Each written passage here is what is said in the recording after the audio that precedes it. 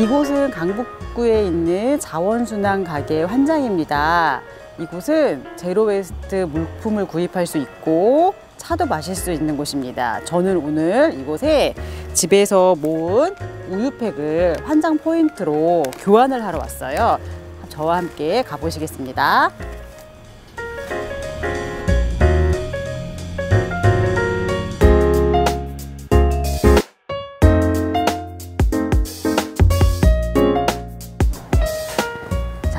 환장 포인트를 바꾸면 이렇게 차도 마실 수 있고 zero waste 물품도 구입할 수 있습니다.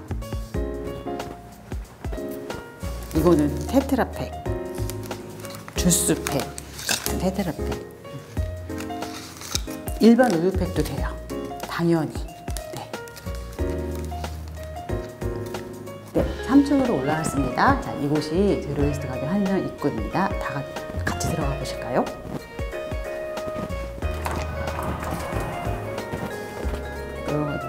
우유팩뿐만이 아니라 병뚜껑, 그다음에 아이스팩, 브리타 정수기, 리필 필터도 여기서 같이 모으고 있어요. 그래서 이렇게 병뚜껑 같은 경우는 이런 호루라기 같은 제품으로 다시 만들어지기도 하죠.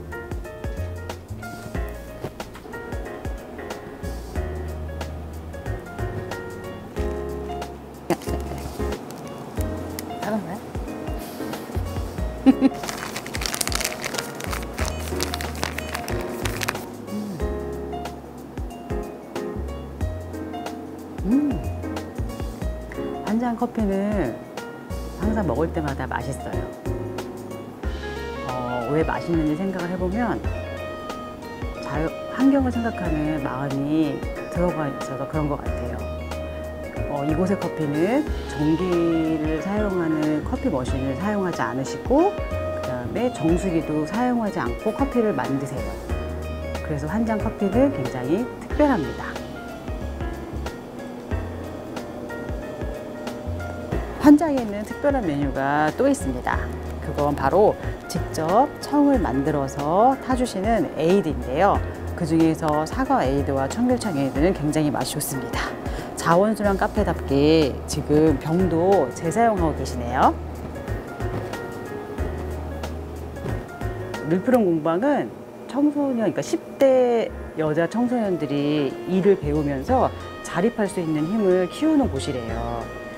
어, 강북구에 있는 다른 이제 사회적 기관과 환장이 협업하는 그런 포인트인 것 같습니다. 제품도 너무 예쁜데요? 자, 그리고 제가 이제 환장에서 말씀드리고 싶은 또 하나의 포인트는 이 소창 베개니까 소창 수건이에요. 이게 왜, 왜 저는 특별하다고 생각을 하냐면 소창 제품은 다른 곳에서도 많이 있죠. 하지만 이곳의 제품은 마을에 있는 공제 공장과 특별히 관계를 맺어서 그곳에서 만든 제품이라는 거예요.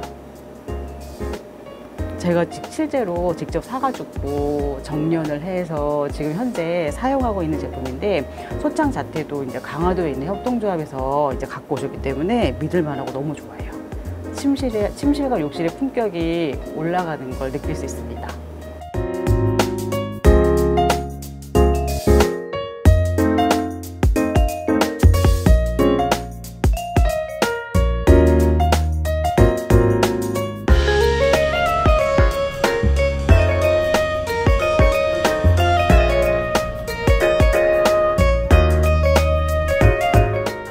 지금까지 강북구에 있는 자원순환 가게인 환장을 살펴봤습니다.